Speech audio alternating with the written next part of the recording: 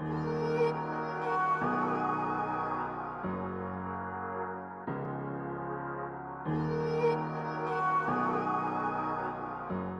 for chapter 2. For yourselves, brethren, know our entrance in unto you, that it was not in vain.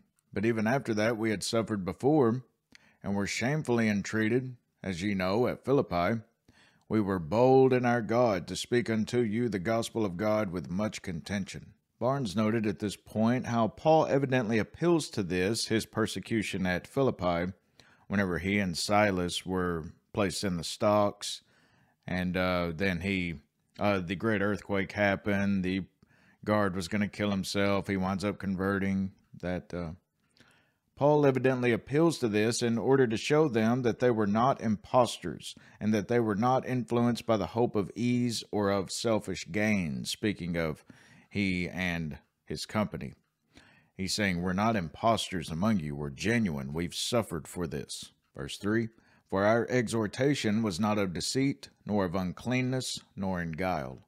But as we were allowed of God to be put in trust with the gospel, even so we speak, not as pleasing men, but God, which trieth our hearts. For neither at any time used we flattering words, as ye know, nor a cloak of covetousness, God is witness.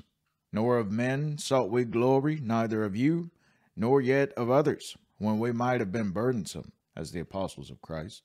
In essence, he's saying, We did not seek glory from you, when we might have been burdensome, when we might have done so. Hence, the word is to be taken in the sense of honor, importance, when we might have claimed honor. He says, We come to you as servants.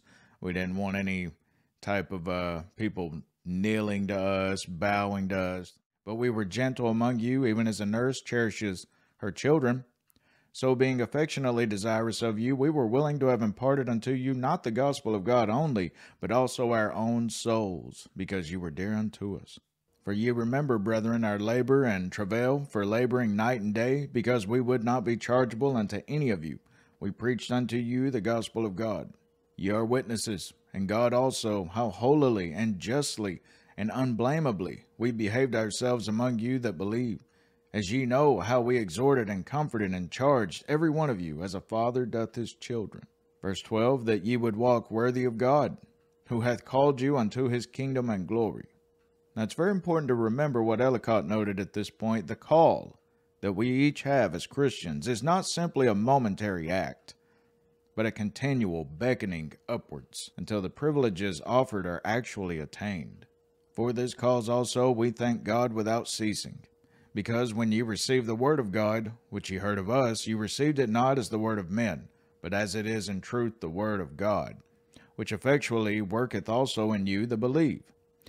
And this is actually a very fascinating statement because we today, as Christians, whenever we spread the gospel to others, we are teaching the very same message. This is not a message from men, as the atheists like to claim. Oh, well, I'm not going to let a bunch of men tell me about the afterlife and heaven. No, this this comes from God. This message is from God himself. Verse 14, For ye, brethren, became followers of the churches of God, which in Judea are in Christ Jesus.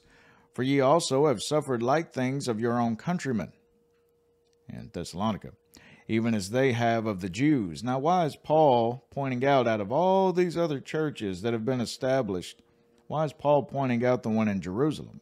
Once again, Ellicott, the churches of Judea are probably selected for example, not only as being the oldest and best organized churches, but the most afflicted, both by want and chiefly by persecution from the Jews. Remember, that is that's where the Jews are, and the Jews were actually following Paul to um, shut down the gospel and to distort it.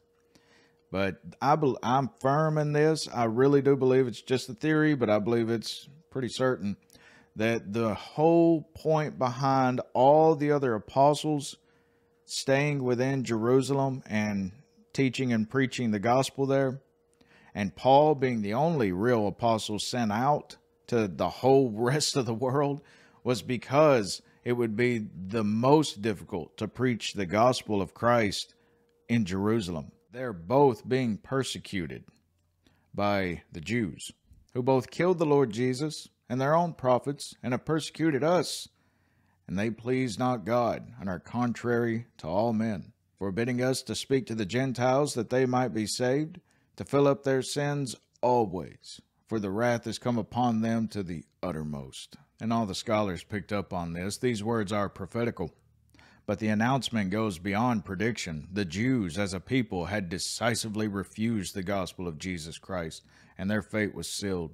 The nation was moving swiftly and visibly down the inclined path to ruin, an end of the old covenant and of national Israel as the elect people.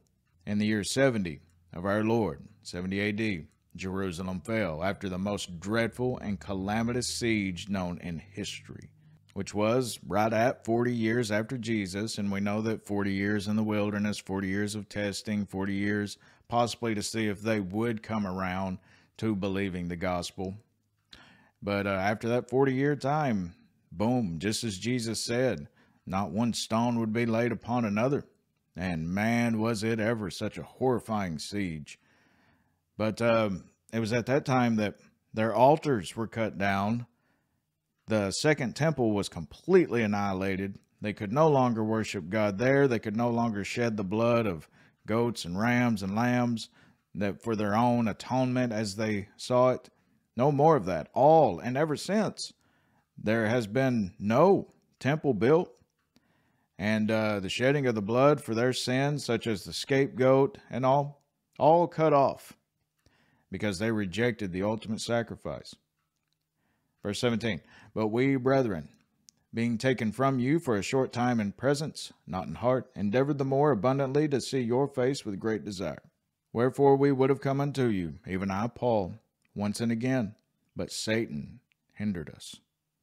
Now, how in the world did Satan hinder Paul? Well, there's a myriad of ways in which he has to hinder us. But I totally agree with John Gill on this. I believe that Satan had been persecuting him for a while, as well as his fellow laborers, by moving the mob which rose at Thessalonica to go to Berea and disturb the apostle there, which obliged him, contrary to his will, to go to Athens instead of returning to Thessalonica as he intended. And when at Athens, from whence also he might propose to return thither, he was hindered by the disputes the Jews and the Stoics and the Epicurean philosophers had with him, and after that might be prevented by the lying in wait of the Jews for him, of which he might be informed, or by disturbances raised in the church or churches where he was by the false teachers, which required his stay with them. Satan hindered him greatly. Verse 19 For what is our hope, or joy, or crown of rejoicing? Are not even ye in the presence of our Lord Jesus Christ at his coming? For ye are our glory and joy. He says, I'm encouraged. We're encouraged because you are staying in the faith. This is showing us that uh, that what we're doing is not in vain. That we're not just uh, um, exuding all of this energy and facing all of these death threats from all around every single corner for nothing. That God is blessing our ministry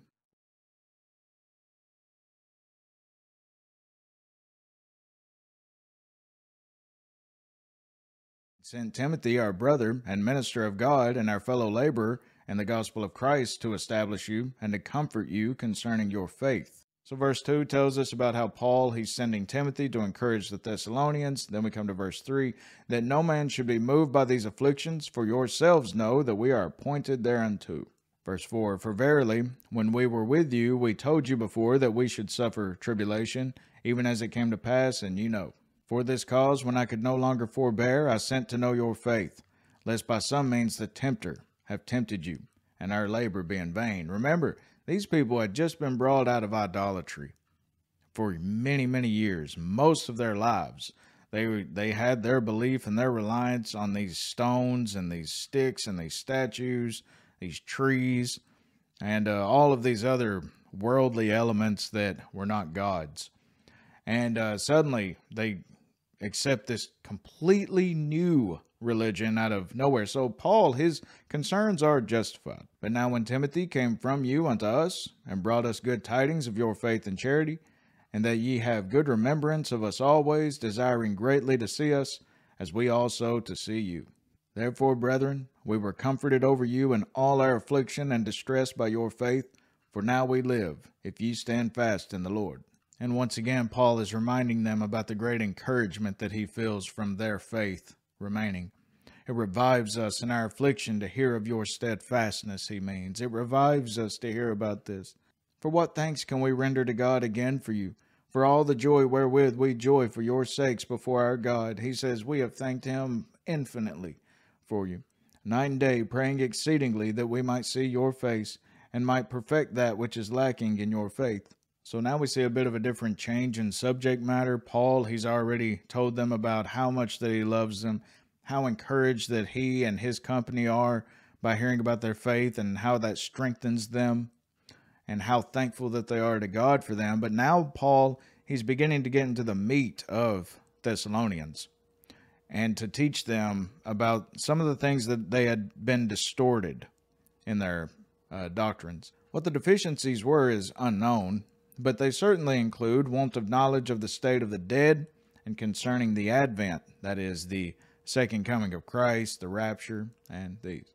Verse 11 Now God Himself and our Father and our Lord Jesus Christ direct our way unto you, and the Lord make you to increase and abound in love one toward another and toward all men, even as we do toward you. To the end He may establish your hearts unblameable in holiness before God, even our Father, at the coming of our Lord Jesus Christ with all His saints. And it's with this very soft ending to chapter 3 that Paul is introducing the second coming of Christ as well as the rapture.